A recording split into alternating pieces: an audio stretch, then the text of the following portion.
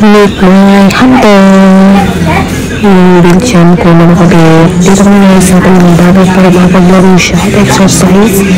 Kasi pag sa ibang place, may madadampot siya at makakain siya ng dudungi sa much better dito. Parang hindi masyado siya ito siya makain ng madudungi. Para eh. safe din sa kanya. Sana